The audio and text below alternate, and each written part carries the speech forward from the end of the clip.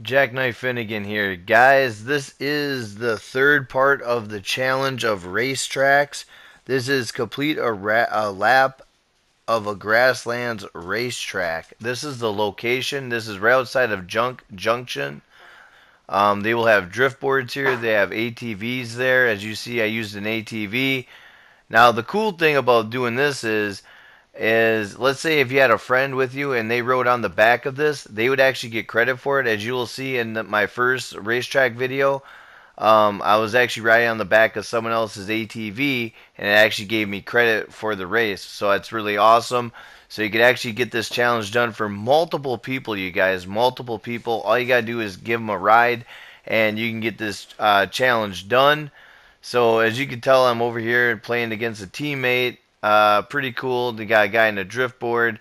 Very simple track, very fun, very easy. But this is the location, you guys, right outside of Junk Junction. Can't miss it. As soon as you guys get the race done, it gives you credit for it.